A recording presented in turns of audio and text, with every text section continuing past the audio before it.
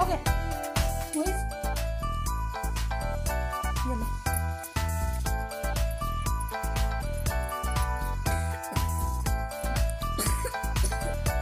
Olha.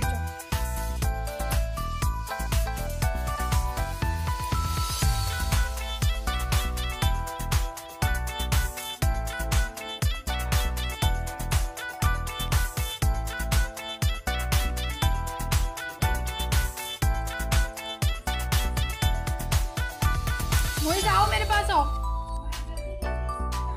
वहाँ पे लेटो मैं आ रही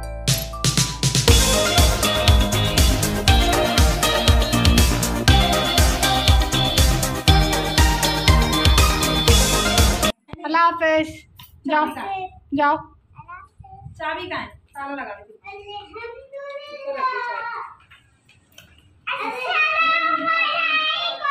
वालेकुम अस्सलाम। स्कूल वाले टीचर से पूछो? अच्छा। ट्यूशन वाली। अच्छा।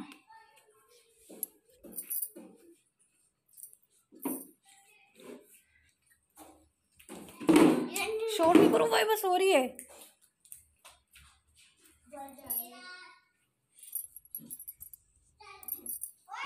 अभी कहानी आ गई है ट्यूशन से? और जो है ना बस आप रात के खाने की तैयारी करेंगे।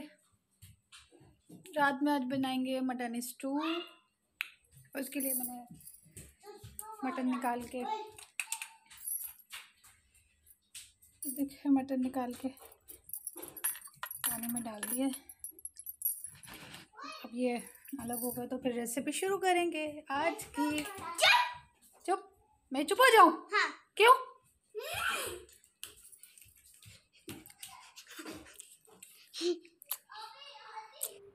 हेलो जी अस्सलाम वालेकुम आज हम बना रहे हैं मटन स्टू उसके लिए। हमें चाहिए एक मीडियम साइज़ की प्याज तीन टमाटर। टमाटर जो हैं छोटे थे अगर आपके पास सही साइज़ के हैं तो आप दो ले लें ठीक है? उसके बाद इसको हम काट के काटने के बाद हमने जो है ना मटन को धो के कुकर में डाल लिया है। ये अब ये सब चीज़ें हम काट के आ, हम इतनी मिर्ची स्पाइसी नहीं खाते तो मैं हरी मिर्ची नहीं डालती वरना बहुत से लोग हरी मिर्ची भी डालते हैं ठीक है? तो मैंने टमाटर प्याज अदरक लहसुन को हम जो है ना पिसा हुआ नहीं डालेंगे, अदरक, लहसुन, साबुत डालेंगे। स्टोव में जो है सब चीज़ें साबुत डलती है, इसलिए इसको हम बस चॉप करके ऐसे ही डाल देंगे। और आप लोग कमेंट्स करें, शेयर करें, सब्सक्राइब करें। जल्दी जल्दी मेरे सब्सक्राइबर बढ़ा दें। तो ये जो है ना, वैसे तो मैंने कभी नहीं डाला ज़ीरा और ये ना साबुत धनिया पर जो है ना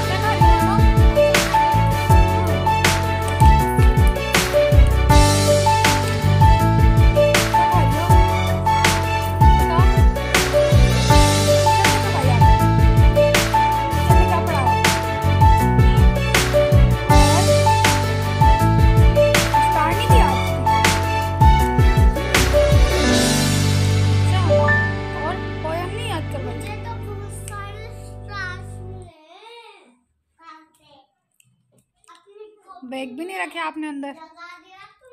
बैग यहीं रख दिए? ये क्या कर रही है? ये क्या कर रही है? ये क्या कर अरे अरे अरे अरे अरे अरे अरे अरे ये क्या हो गया? अधिका अधिका अधिका पागल हो गई है भैया अधिका पागल हो गई। क्या कर रही हो आप?